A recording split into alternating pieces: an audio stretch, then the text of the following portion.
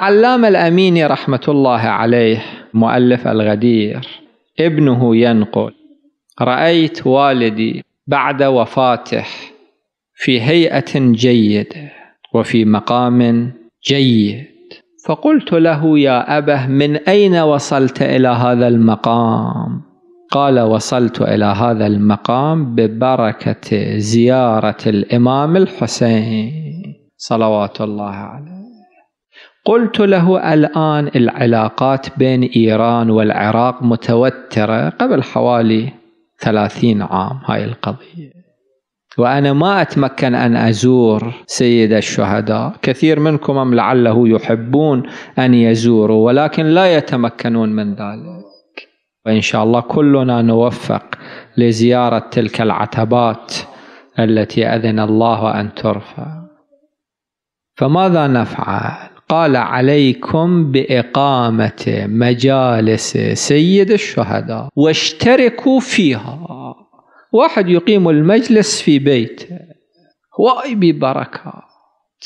تجدون هذه البركات.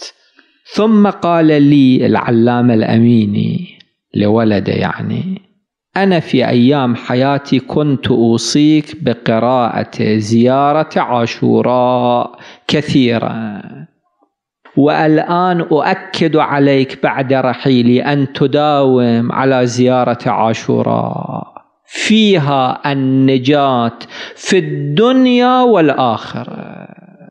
كان أحد المؤمنين في الكويت معروف من المتدينين. كان عنده طفل مشلول شلل طفل عمره عام. ذكر لأحد العلماء أنه أعاني من هذه القضية.